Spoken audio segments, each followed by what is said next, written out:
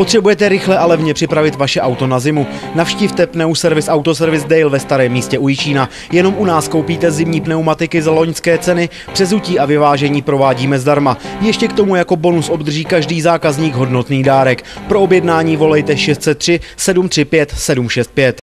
Těchto dnech jsou čínské svatební salony doslova v obležení. Snoubence se totiž těší na magické datum 11.11.2011.